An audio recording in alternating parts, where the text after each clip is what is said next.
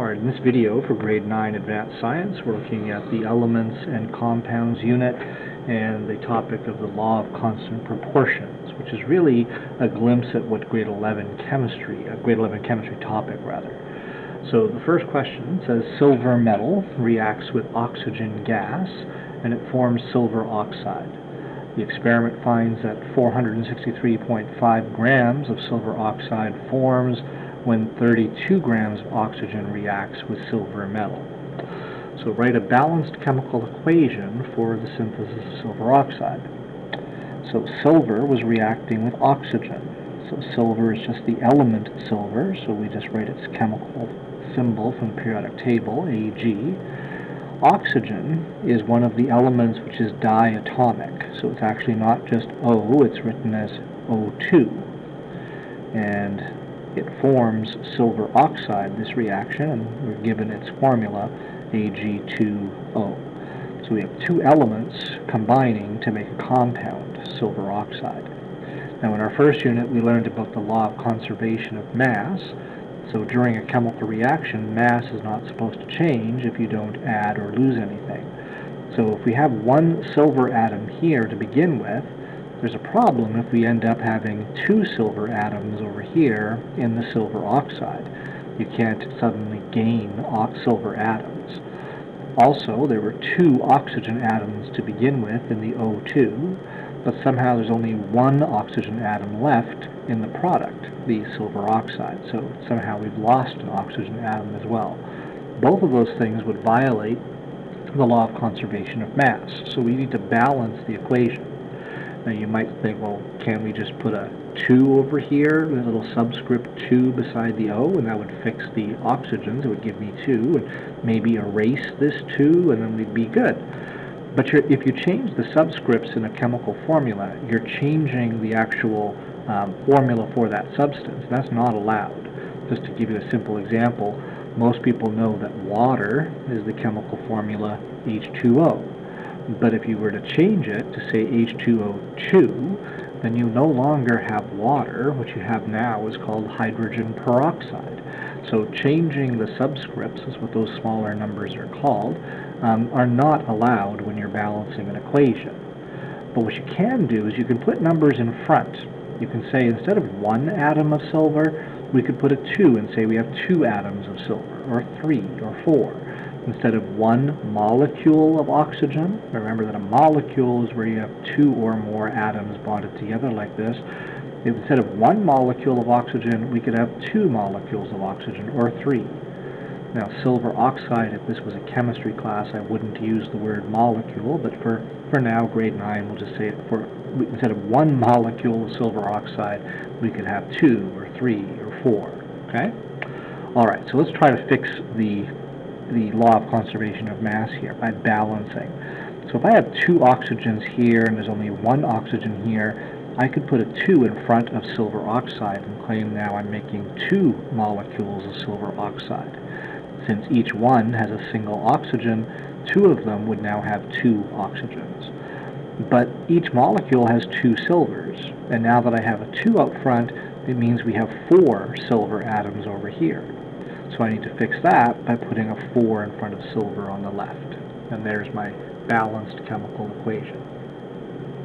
Now, we were told up in the question that 463.5 grams, I'm just going to write that underneath, of silver, excuse me, of silver oxide, 463.5 grams of this, was formed when 32 grams of oxygen reacted.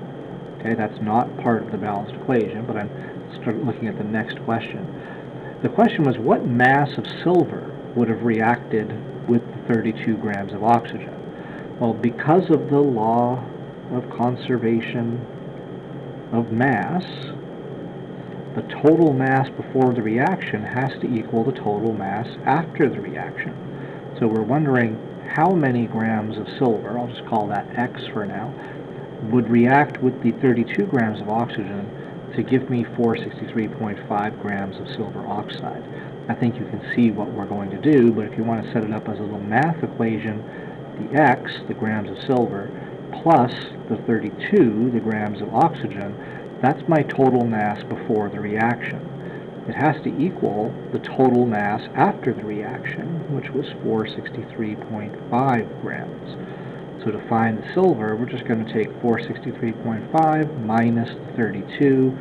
So 463.5 minus, whoops, minus 32 gives me 431.5 the grams of silver metal that must have reacted. Remember, when you're adding or subtracting with measured quantities, you round off your answer based on the number of decimal places in the questions that were being added or subtracted. Since this number has one decimal place, 0.5, this has one decimal place, 0.0, we keep one decimal place, 0.5, in that answer. Alright, so now we have essentially a complete recipe. We can go back up here and say 431.5 grams of silver react with 32 grams of oxygen to make 463.5 grams of silver oxide. And those masses give me mass ratios, just like in the electrolysis of water experiment. The numbers are not as nice as the electrolysis of water, but nonetheless, those are mass ratios, and we can use them to answer questions. For example, in part C, if 5 grams of silver reacted completely with oxygen, how many grams of silver oxide would form. So I'm just going to set up the unit multiplier to answer that. 5.00 grams of the silver reacts completely to make silver oxide. How many grams of silver oxide would form? So I'm going to convert my grams of silver to grams of silver oxide. And the numbers for that unit multiplier come from the recipe up above, 431.5 grams of silver. Will make 463.5 grams of silver oxide. So on my calculator, 5 times 463.5 divided by 431.5 equals 5.37 and I'm going to keep three significant digits in the answer 5.37 grams of silver oxide will form. Part D, what mass of oxygen would react with 25 grams of silver? So just like above, we'll set up a unit multiplier, 25.0 grams of silver, and we're wondering how many grams of oxygen would react with this. So I'll convert my grams of silver to grams of oxygen.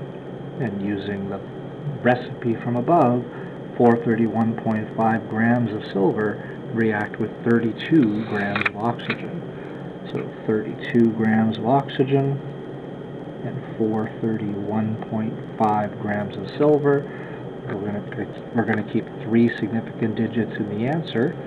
So we have 25 times 32 divided by 431.5. We're going to keep three digits, 1.85 grams of oxygen would react. And then finally, if you want to make 3 kilograms, 3.00 kilograms of silver oxide, what mass of silver would you need? Let's express that in kilograms. Alright, so we want to make 3.00 kilograms, 3.00 kilograms of silver oxide, Ag2O. How many grams of silver would we need? There's a fast way to do this and there's a slightly longer way to do it. The slightly longer way will, will mean we can convert the kilograms to grams of silver oxide. Then the grams of silver oxide, we can convert that to grams of um, silver metal, and then the grams of silver metal we could switch back to kilograms, so three unit multipliers. Alternatively, looking back at our mass ratios, we realize these are all in grams. If we were to switch them simply to kilograms, then we'd have the same ratio, because there's a thousand grams in a kilogram. So we could really think of this as 431.5 kilograms of silver react with 32 kilograms of oxygen to make 463.5 kilograms of silver oxide. If we thought of those as kilograms, then down here we would use one unit mul multiplier to solve this, okay? I'll do it the long way, but you'll see when I set it up that the faster way also works.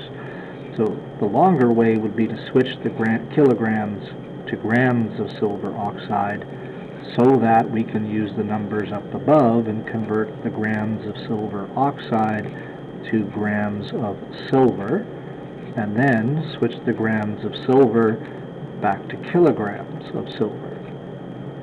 And now putting your numbers in, the 1,000 grams and 1 kilogram in the first multiplier, but look at the third multiplier, 1 kilogram and 1,000 grams. Notice a 1,000 on top and a 1,000 on the bottom. Those are just going to cancel each other out. So really, we just needed that ratio in the middle, which is what I meant when I said there was a faster way to do this.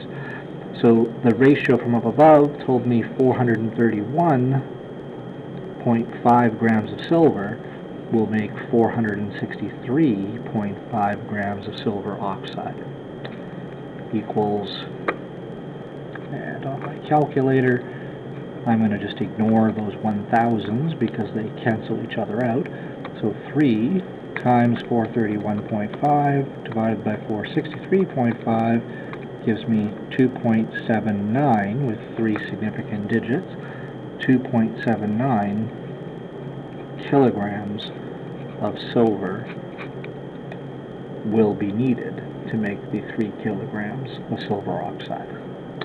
Alright, so using unit multipliers to solve relatively simple um, law of constant proportions equations.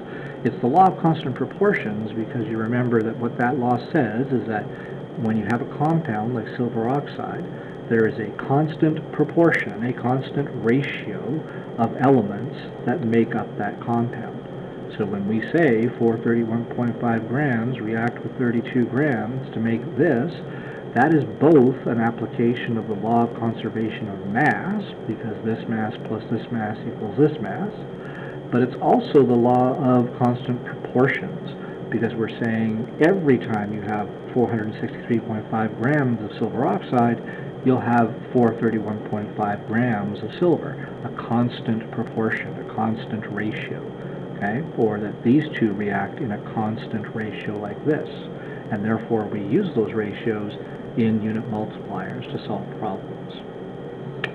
Okay, let's do one more question. We won't finish this one, but we'll, we'll work through parts of it.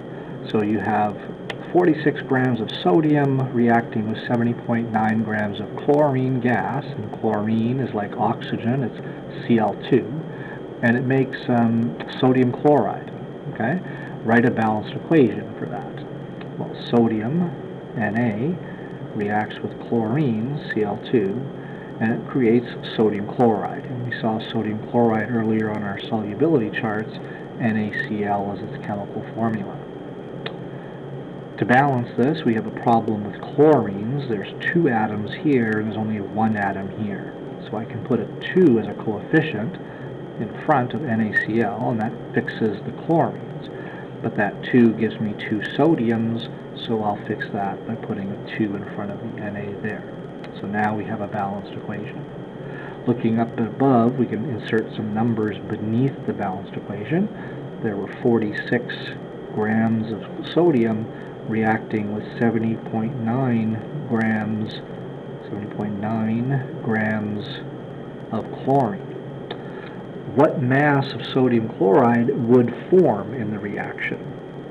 Now it's said that, that these two masses react completely. Both of them get used up. Therefore, because of the law of conservation of mass, we can say 46.0 grams of the sodium plus the 70.9 grams of the chlorine would have to equal the mass of that sodium chloride being produced.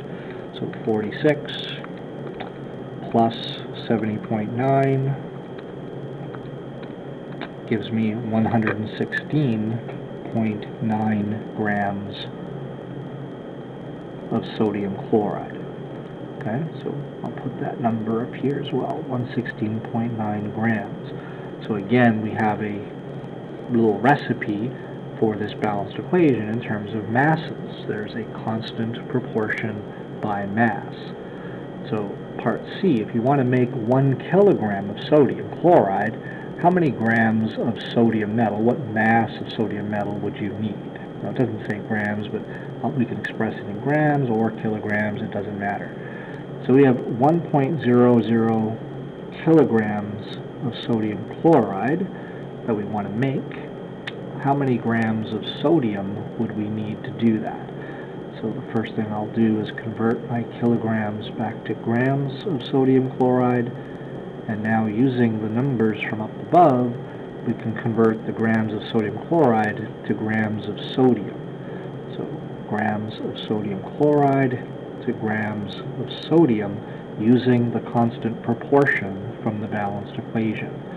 So there's a thousand grams for every kilogram, and there were 46 grams of sodium for every 116.9 grams of sodium chloride. So we have on our calculator, we're going to take 1 times a thousand, or just 1,000, and we're going to times that by 46 and divide by 116.9 we get with three with three significant digits 393 grams of sodium are needed. Okay? What mass of chlorine gas will react with 75 grams of sodium metal? So 75.0 grams of sodium, and we're wondering how many grams of the chlorine would react with this. So we'll convert our grams of sodium to grams of chlorine using the balanced equation up above. We have 70.9 grams of chlorine for every 46.0 grams of sodium. So on our calculator, let's see, 75 times 70.9 divided by 46, keeping three digits, we get 116, 116 grams of chlorine gas would react. And finally, what is the percent by mass of sodium in sodium chloride? This is very similar to when we calculated percent zinc in zinc chloride in our experiment from the lab.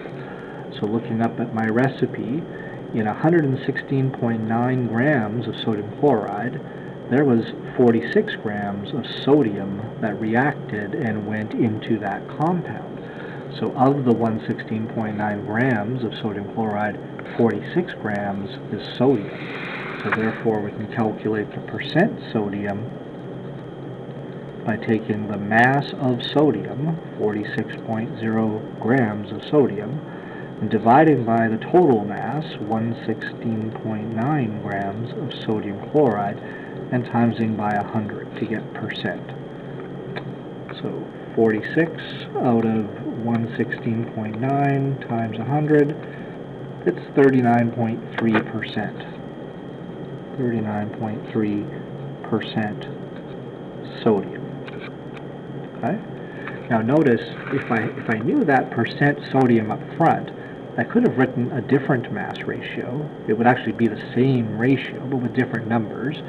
We could say 39.3 grams of sodium would react with a certain number of grams of chlorine, and because this was percent, we could say that would make 100 grams of sodium chloride.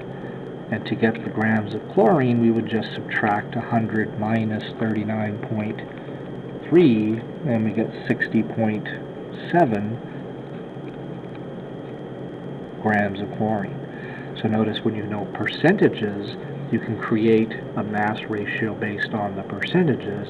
Percent means for every 100 grams of that sodium chloride. In any case, I hope that helps with some law of constant proportions um, for grade 9 advanced science for the test or for the exam review.